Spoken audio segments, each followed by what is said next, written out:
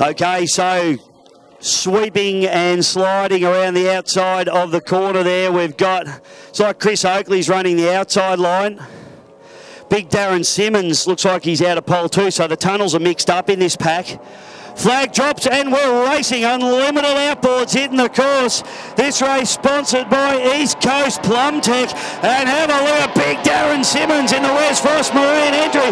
He's hard and fast down into turn number one. Big Mickey Tarano out there in the silver bullet. Chris Oakley trying to go around the outside of him. Timmy Martin in the pack there. Jason Heaney and Richard Meads.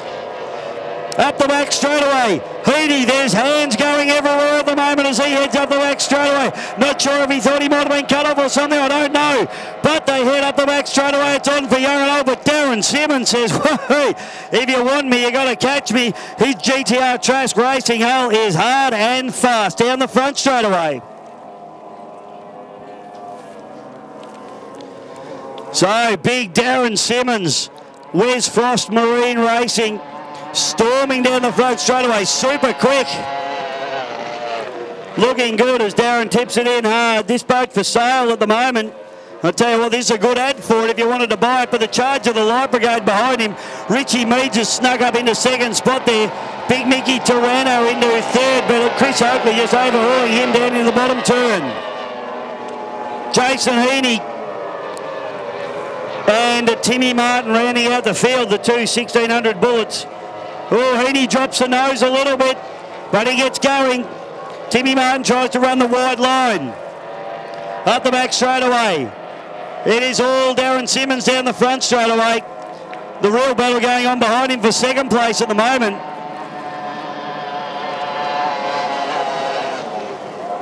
Darren Simmons in the Wes Frost Marine Racing entry just absolutely smashing the field at the moment. Super quick, that's great to see. To see for the outboarders as well. Darren might be a challenger for the Paynesville Gold Cup if he keeps this sort of pace up all weekend. Charging hard now, Chris Oakley just trying to get the job done around the outside. In fact, does move up into second spot, slotting Richard Meads back to third. Mick Tarano and the Silver Bullet back to fourth.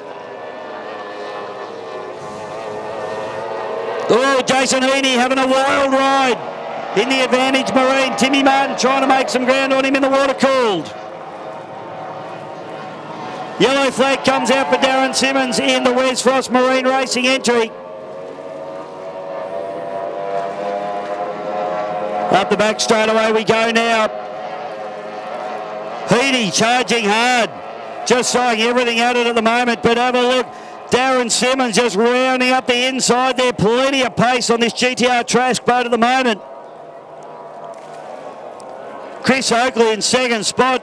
Nearly going to have a lap put on him here. That's how quick Darren Simmons is at the moment.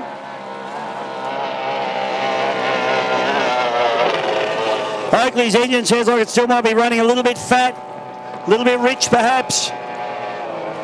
Richie Meads now running into third.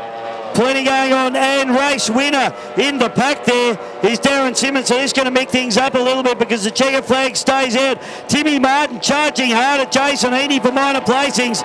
I think Jason Heaney's just got him there.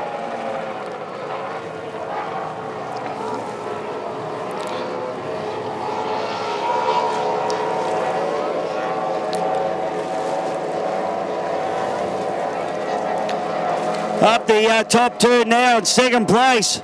Absolute daylight back to second place. But it is Chris Oakley in the Chris Oakley Marine Racing entry getting the job done in his tunnel boat.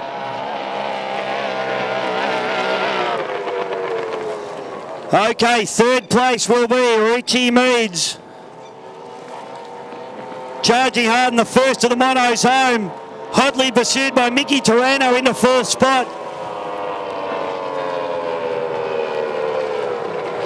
Mickey, of course, a local Gippslander. That's a good run for him. It's the first time we've seen him on the water. And uh, Timmy Martin and Jason Heaney, who already have accepted the uh, checkered flag. So